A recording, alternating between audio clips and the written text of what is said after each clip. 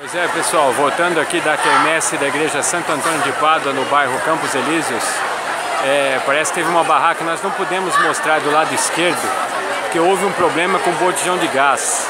De pouco depois parece que eu cheguei aqui, agora são exatamente 8 horas e 16 minutos, 74% da carga do celular, de energia.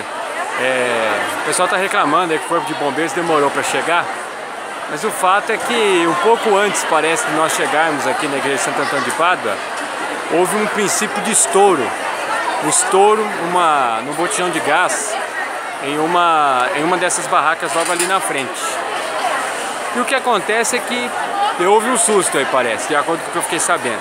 E nesse momento chegou a viatura do Corpo de Bombeiros, mas nada grave, parece que ninguém se acidentou.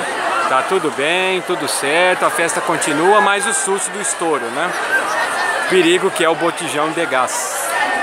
Então é isso, onde a notícia acontece, Fabiano Cavalar aparece. Continuamos aqui e aguardamos para ver o desfecho aqui. Forte abraço a todos, fiquem com Deus, me acesse nas redes sociais. Valeu! Uou!